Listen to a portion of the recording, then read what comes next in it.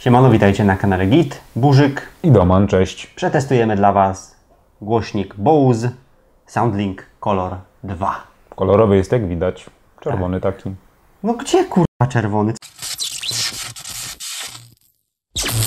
Opakowanie naszego testowego głośnika całkiem nieszałowe.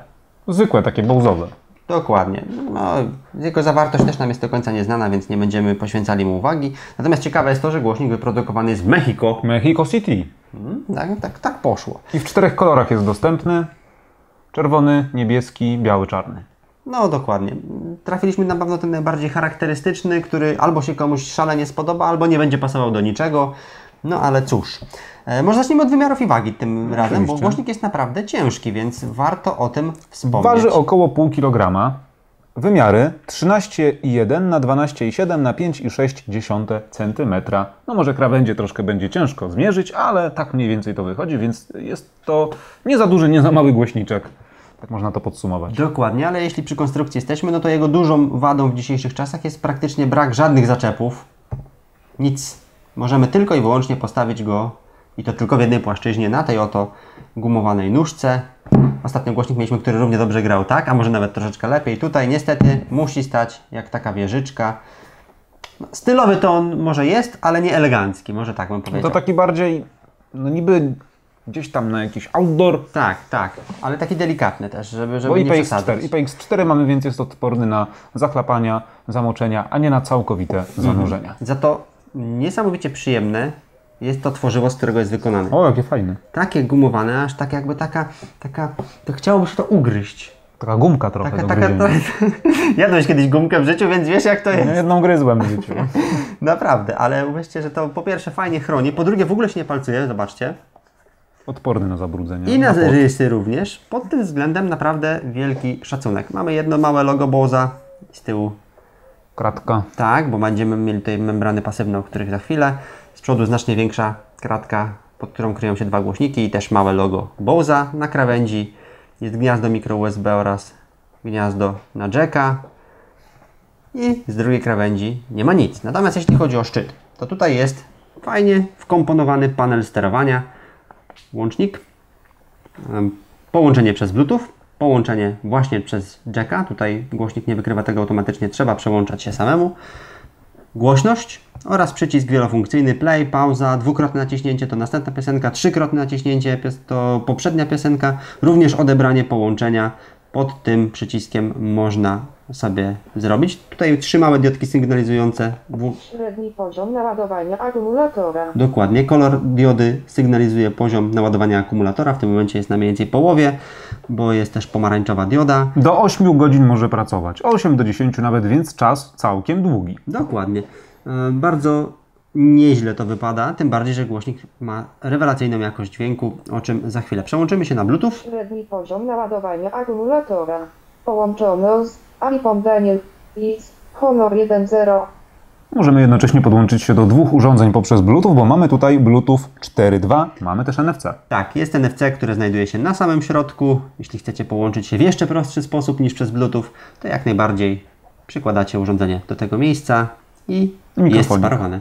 I mikrofonik, bo jest oczywiście tutaj opcja y, wideo, tele, telekonferencji. Wideokonferencji to jeszcze tutaj nie ma. Kamerka wyjeżdża i jest wideokonferencja. Fajnie wygląda, aczkolwiek nie wszędzie będzie pasował.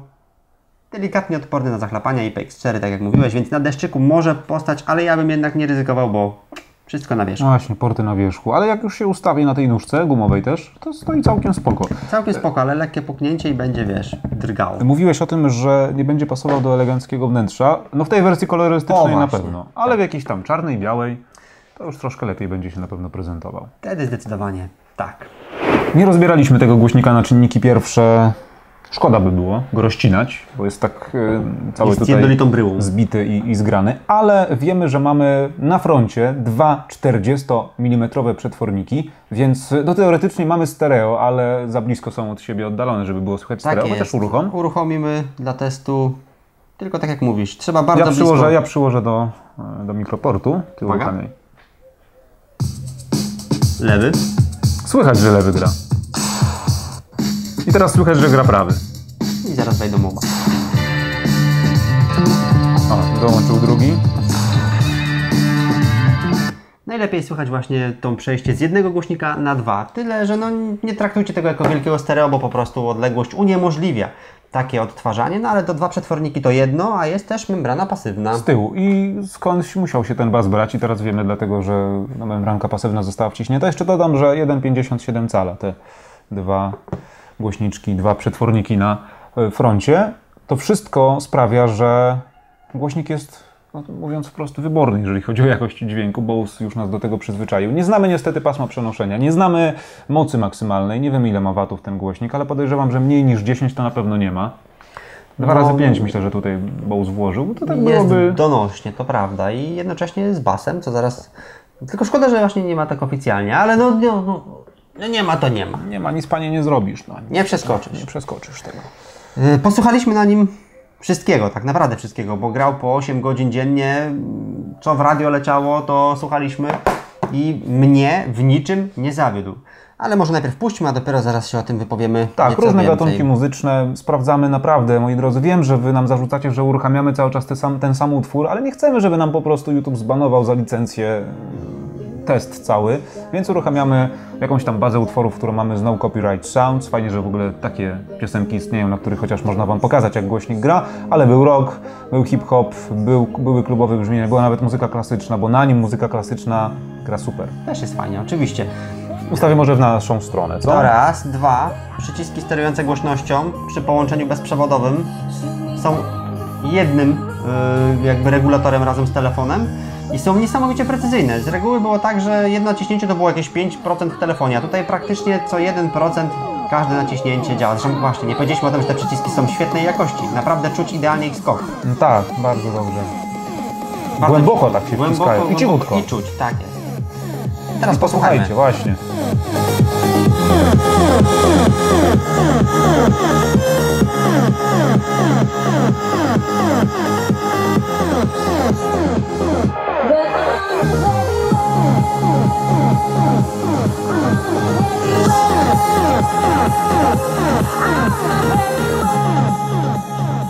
Skomentuję to kilkoma słowami. To jest kurła marka. Prawda? To jest to. Jest to. I, i, I naprawdę tutaj wygląda niepozornie jak taka trochę zabaweczka, a jakość dźwięku jest świetna. Tutaj przytoczę słowa Cona, bo on troszeczkę narzekał na ten bas. Siedząc dalej i siedząc tyłem do głośnika, co ciekawe, uznał, że bas jest troszeczkę pudełkowy. Takie były jego pierwsze wrażenia. Nie Ale- ogółem, że grał, że płasko grał. Że płasko grał. Ale po jakimś czasie powoli, powoli się przekonywał. Szczególnie kiedy zestawił go od razu z tańszymi głośnikami, no to wtedy powiedział, o Jezu, ten Boss to jednak ma jakość. Bose ma zupełnie inną charakterystykę brzmienia niż JBL, zupełnie inną charakterystykę brzmienia niż te wszystkie głośniki, które testowaliśmy. Tutaj mam wrażenie jest czyściej. Mhm. Jest, jest czysto i jednocześnie z tym basem wciąż istniejącym, bo to jest problem, zrobić głośnik, który i gra czysto i ma te niskie tony. Tutaj to się udaje. No scena jest troszeczkę wąska, no bo wiadomo, te głośniki blisko siebie, głośnik też jest mocno kierunkowy, więc pod tym względem przestrzenności nie uzyskacie, no ale i pasma są nieźle odseparowane od siebie. Średnie, niskie, wysokie tony naprawdę idealnie wypozycjonowane. Do wokali ten głośnik jest też świetny. I to najważniejsze, nawet jak się dalej odsuniemy od niego, to nadal myślę, że salon nam spokojnie nagłośni. Bez problemu, jest donośny, zresztą tutaj Bluetooth e, wystarcza spokojnie na te 15 metrów tak. linii prostej, to bez problemu, nawet więcej. Bo no, dzisiaj niestety warunki są takie, że Nie sprawdzimy. ulewa, więc znaczy ulewa, to może zbyt duże słowo, ale, ale pada cały czas i daliśmy sobie spokój z nagraniami na dworzu, więc nie sprawdzimy tak jak zwykle naszego zasięgu, chociaż może nawet jakoś za chwilę to nagramy. Możemy się przejść jeszcze chwilę na Kozilli, tak żeby było już procedura testowa. Sprężysty, ale nie bez przesady ten basik. To jest akurat coś.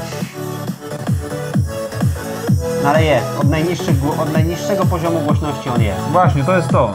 To jest to, czego często, no wiadomo, w topowych głośnikach jest, ale często nie ma tego w głośnikach tych tańszych, że jak sobie słuchamy na tak 20-30%, no ten bas nie istnieje, a tutaj on się nawet wybija, bym powiedział. Tak, tak, właśnie na niskich głośnościach on jest mocniejszy nawet niż wysokie średnie tony. Kolejny plus, y, w zasadzie zero problemu ze stosunkiem sygnału do szumu. No, możecie sobie spauzować muzykę i nic nie usłyszycie. Szum deszczu.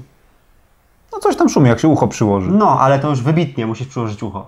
To bardziej będzie słychać szum z mikroportów niż z tego, więc, jakieś więc nie ma, się zrobi. Tak, więc No, nie ma to no. najmniejszego sensu. Jeśli chodzi o jakość dźwięku, to nie jest tanio może, ale przynajmniej wiemy za co płacimy. No bo płacimy około 600 zł Tak, ten głośnik. tak. Ceny są bardzo rozstrzelone też, to ciężko jest ocenić. Czasem 550, czasem 650, też w zależności od wersji kolorystycznej. Ale sugerowana to 600. Ale sugerowana cena to 600 zł i nie jest to mało, bo w tej cenie no, chyba Charge'a można z takich głośników, który pierwszy wszedł mi do, do, do, do głowy, Charge'a trójkę dostać.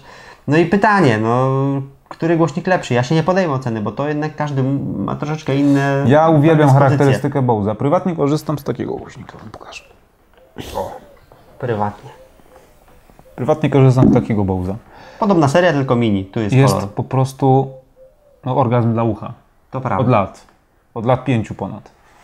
To prawda. No to jest starsza technologia, co prawda bezprzewodowa, ale jakość dźwięku nie Bas- ustępuje albo prawdopodobnie nawet jeszcze lepsza niż w większości dzisiejszych głośników. To jest w ogóle, w ogóle Soundlink Mini pierwszej generacji. Druga generacja jeszcze delikatnie była poprawiona, ale słuchajcie, no niskie tony i ogólnie to jak, jak on pracuje, to jest, a dobra, kiedyś go się nagra, odkładam. No tak. Ale wracając do Soundlink Color 2, naprawdę fajne urządzenie, nietuzinkowe kształtem, tą fakturą, tym materiałem. Aplikacja Bose Connect być może nie jest najbogatsza w opcje, no ale fajnie wizualizuje nam, jaki głośnik jest w danym momencie podłączony, w jakim procencie głośności, zresztą stąd też można sterować głośnością. Jest procent baterii, Mamy możliwość połączenia w tryb party kolejnego głośnika Bose z kilku dostępnych. Mamy historię urządzeń, które podłączały się poprzez Bluetooth. Można podłączyć nowe, można edytować te, które są. Można przede wszystkim dokonać aktualizacji głośnika. W tym momencie my mamy już y, oprogramowanie aktualne. Można wyłączyć instrukcje głosowe. Można wyłączyć instrukcje głosowe i jest to całkiem przydatne, bo języki komunikatów są tutaj naprawdę przynajmniej Espanol daj, Espanol daj. Español, I już, już go patrz. batería media. Conectadora, iPhone Daniel. Bateria media, iPhone Daniel. iPhone Daniel, masz. El Chapo się nie oglądałeś, to masz teraz trochę hiszpańskiego. E, można zmienić język, to już wspomniałeś. Można wyłączyć go całkowicie, można zmienić automatyczny czas wyłączenia głośnika po bezczynności. Można sobie poczytać instrukcję obsługi. Może komuś się przyda. Zmienić nazwę głośnika. No trochę jednak tego jest, mówię, że tak nic nie ma, No to bo już to są- przynajmniej 5 minut siedzimy w tej aplikacji. Nie no, sam jesteś 5 minut. To są po prostu drobiazgi. E, jeszcze w tym miejscu mamy kilka opcji, innymi znajdź słuchawki, no ale w głośnikach to wiadomo, nie do końca będzie działało. Można z jej poziomu też odtworzyć muzykę, innymi z aplikacji Spotify. Nie będzie co prawda wielu szczegółów wtedy, ale tytuł i tło albumu zawsze się wyświetli. No i to by było mniej więcej na tyle. Sprawdźmy, czy wytrzyma delikatne zachlapanie. Zgodnie z normą IPX4 mniej więcej.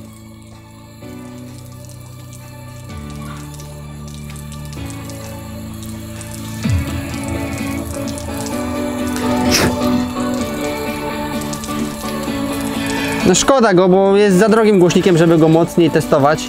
A IPX4 to naprawdę na kropelki deszczu może o, na coś takiego.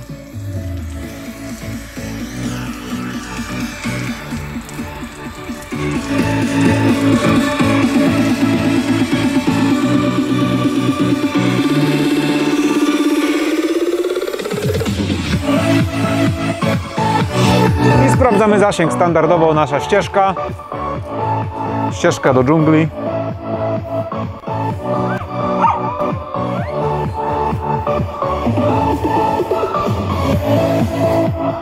Ja trochę się ukryję za ścianą.